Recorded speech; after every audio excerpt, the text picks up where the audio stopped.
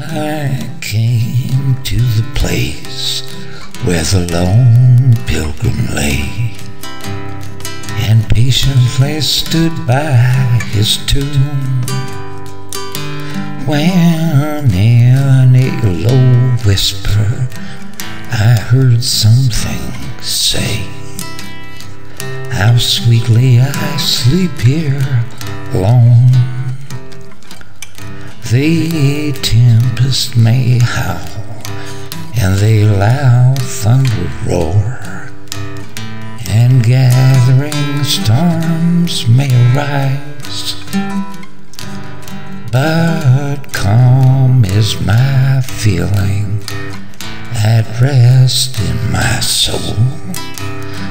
The tears are all wiped from my call of my master compelled me from home. No kindred or relative nigh.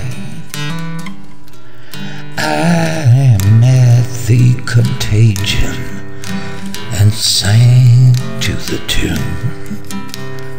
My soul flew to mansions on high. Go tell my companion and children most dear to weep not for me, now I'm gone.